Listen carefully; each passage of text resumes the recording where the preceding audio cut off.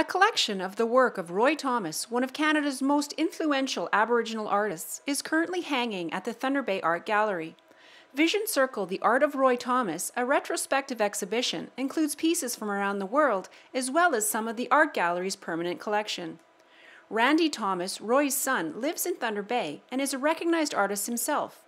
He remembers his dad's art being heavily influenced by his parents and grandparents. If you were to look at one of his paintings, I don't know where you'd see that influence, but they're, they're definitely there, and he, and he talked about it all the time.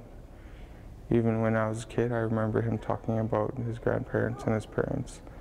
Roy was also influenced by his surroundings, and it was reflected in his art. As you see, you got the, the black man, the yellow man, the white man, the red man, and um, we're all in the same boat. And as you see, all the animals are facing one direction and we all want to go in the same direction, which is a, which is a good direction to go in. And we got the four elements in the canoe. We got the water.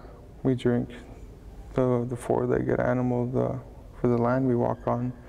And the bird is the air that we breathe.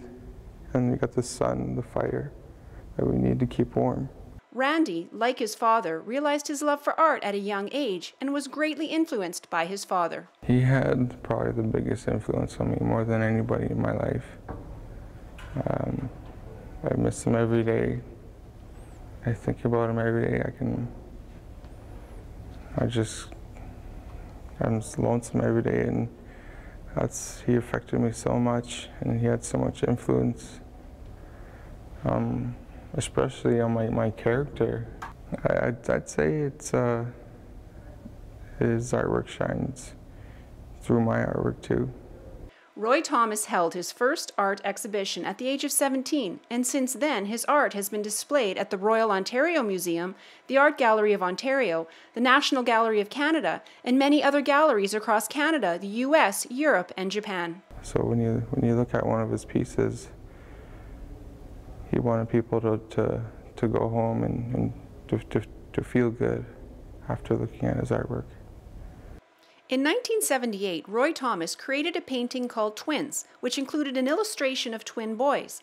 Ten years later, Roy's wife Louise gave birth to Randy and his twin brother Roy. That's probably one of my favorite paintings from, from him.